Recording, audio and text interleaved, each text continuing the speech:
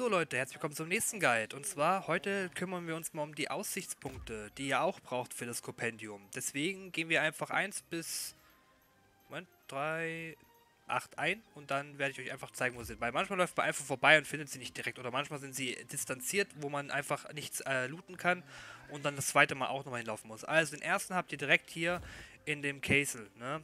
in äh, Pride Home. Da habt ihr auch dann, das erste wird ihr euch durch die Quest hingeführt. So. Den nächsten haben wir in dem nächsten Gebiet draußen und zwar ist dieser in dem Portal von von Fleona-Ebenen. Da könnt ihr hinporten oder hinreisen durch den normalen Weg oder ihr portet euch direkt hin. So wie ich jetzt zum Beispiel.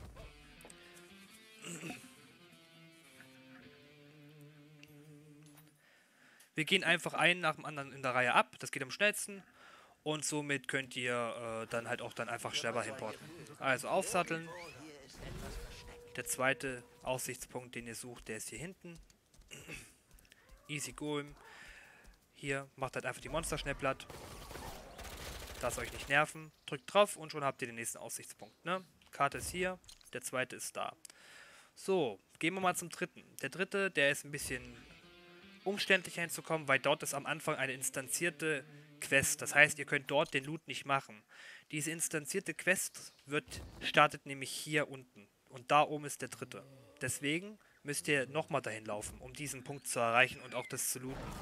Das ist halt leider ein bisschen tricky. Äh, ich wurde schon angefragt, ob ich noch mehr Videos bringen könnte für die Sammlerstücke. Also wie gesagt, ich mache jedes Gebiet einmal komplett mit euch durch. Erkläre ich, wo ihr die Kochrezepte herkriegt. Ich erkläre euch, wie das funktioniert, dass ihr das nicht mal gleich looten müsst. Ich zeige euch die Instanzen, die ich geschafft habe und die Monokosamen, die ich gefunden haben, habe. Also die Mokokosamen.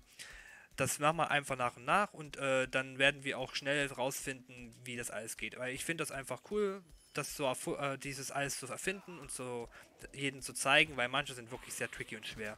Hier kann man übrigens sehr gut die Sammlerstücke machen, weil hier viele Mobs sind. Das heißt, ihr geht runter, klatscht viele, meistens haben die Banditen sogar was Nettes dabei. Oh, jetzt in dem Fall nicht, schade. Was ich jetzt meinte, war jetzt das hier. Äh, wartet. Also hier hinten kann man zum Beispiel sehr gut die Sachen farmen. Ne? Das habe ich am anderen Video schon erklärt, dass die ersten Gebiete die ersten zwei beinhalten und danach äh, die, das nächste Gebiet die nächsten zwei und das letzte Gebiet, wo Rodrik der Boss lauert, da gibt es dann auch noch welche. So, hier ist das dritte. So, mit haben wir das auch. Jetzt kommen wir schnell zum vierten. Der ist auch in der Nähe. Also hier ist der dritte, der aber nur nach der instanzierten Questreihe möglich ist zu erreichen. Das heißt, ihr müsst da nochmal hochlaufen, nachdem ihr die Questreihe gemacht habt. Dann gehen wir mal schnell zu Punkt 4.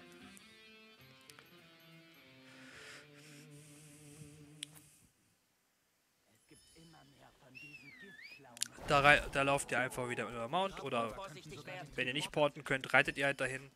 Und zwar, das ist hier zu finden auf der Brücke. Da findet ihr den vierten Punkt. Der ist hier. Ne? Kann ich euch nur empfehlen.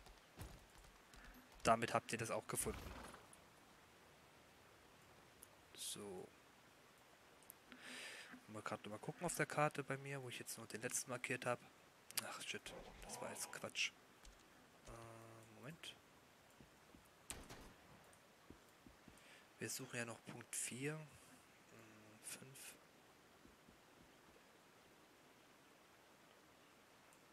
Moment, muss selber gerade auf meine Markierung achten.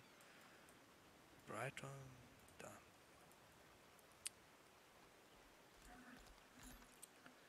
Ah. Habe ich alle? Ach so, genau. Wir haben dann den da oben, dann der fünfte, der ist, wie gesagt, ich habe ja das ein bisschen aufgeschrieben, weil das wirklich schwer ist manchmal zu finden, weil du kannst das leider nicht markieren im Spiel. Hier ist nämlich dann der fünfte. Den findet ihr hier. Also, der vierte ist hier auf der Brücke, der fünfte ist gleich direkt daneben. Ne? Somit wisst ihr halt dann, wo ihr hin müsst. Dann porten wir uns nach äh, Angu äh, Angulmosberg. Da geht es nämlich dann weiter. Und dann porten wir uns direkt zu dem Grenzwacht. Da geht das nämlich dann direkt zunächst zum Sechserpunkt. Ich kürze es ein bisschen ab, ihr müsst halt da durchlaufen und durchquesten. Und ich kann es euch nicht oft genug sagen, bitte macht die Nebenquests, ihr braucht die sowieso für das Erfolgskompendium. Und äh, ja, also, wir sind jetzt hier in dem Berg, laufen einfach da runter. Und der sechste äh, Aussichtspunkt befindet sich hier hinten. Da ist der sechste. Tada! Und zwar da. So. Brauchen wir zurück.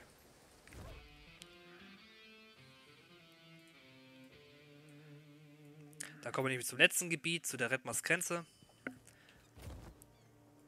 Das von dem von Redmar dazugehört. Und hier gibt es auch noch welche, und zwar zwei Stück. Bin gerade nur am überlegen, kann man gleich direkt hier hin, genau. Also, bitteschön.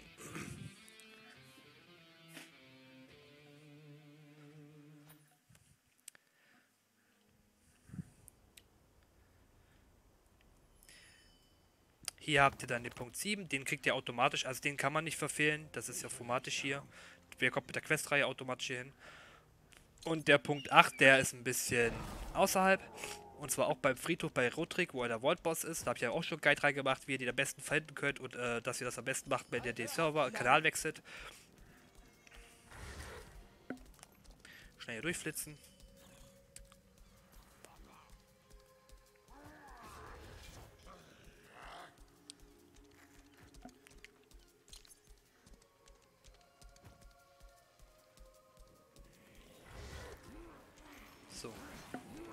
Kämpfen wir.